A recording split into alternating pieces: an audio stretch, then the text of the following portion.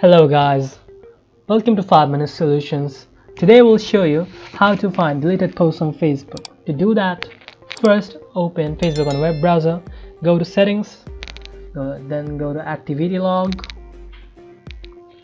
After that, you'll see an option named recycle bin. As you can see, I've, I haven't deleted anything, so there's nothing on my recycle bin. So now I'm gonna post something. As example, I'm posting how are you clicking post.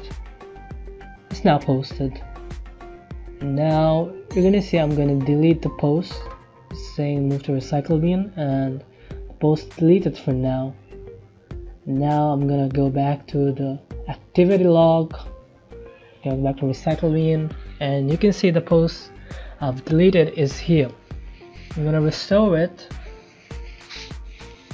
Click on restore again and now it's deleting it has been restored now I'm gonna go back to my profile and as you can see it's here back again.